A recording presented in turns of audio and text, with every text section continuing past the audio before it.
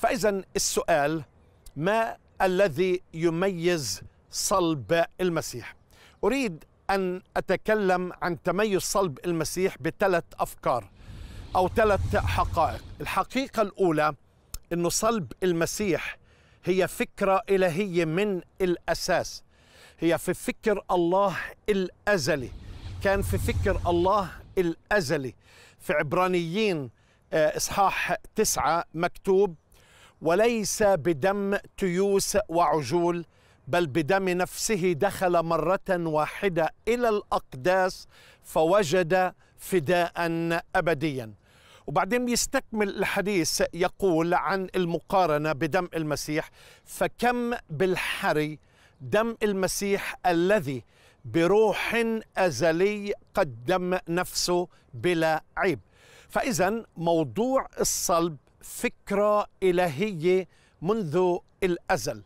مش بس هيك الكتاب المقدس واضح جدا في بطرس الأولى الإصحاح الأول من آية 18 مكتوب عالمين أنكم افتديتم لا بأشياء تفنى بفضة أو ذهب من سيرتكم الباطلة التي تقلدتموها من الآباء بل بدم كريم كما من حمل بلا عيب ولا دنس. دم المسيح لاحظ الكلام معروفا سابقا قبل تأسيس العالم ولكن قد أظهر في الأزمنة الأخيرة من أجلكم. في الآيتين بنشوف إنه فكرة الصلب هي فكرة إلهية في فكر الله يعني قبل خلق أي شيء في هذا الوجود. شيء ثاني هي مش بس فكرة إلهية هي مبادرة إلهية يعني في مشورات الله الأزلية فهي مبادرة إلهية.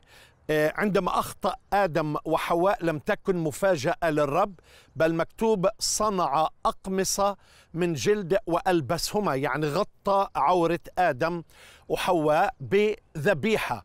وهذه الذبيحة كانت ترمز مستقبلا إلى الذبيح الكامل شخص ربنا يسوع المسيح.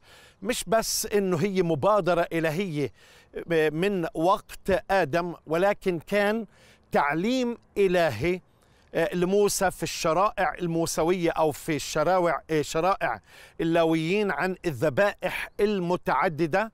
فهي كانت فكر الله وأيضا مبادرة إلهية.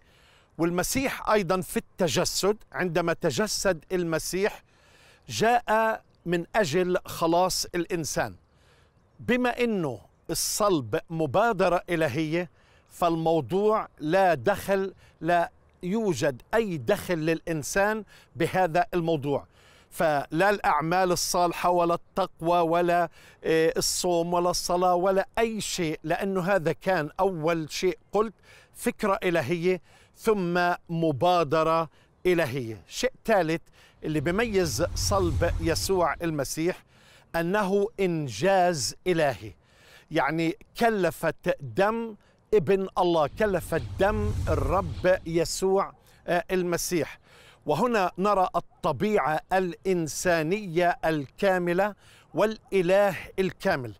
فإذا من هذا نستطيع أن نستشف لا يوجد أي إنسان يستطيع أن يقوم بهذا العمل الفدائي الكفاري إلا يسوع المسيح.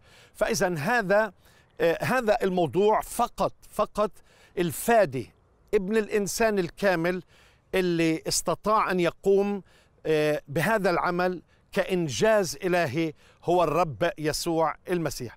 وبما انه فكره الهيه مبادرة الهيه وإنجاز إلهي فإذا هذا الموضوع كان خارج عن نطاق الزمن كان في مشورة الله المحتومة قبل الأزل. ابقوا معي سأواصل حديثي عن صلب المسيح.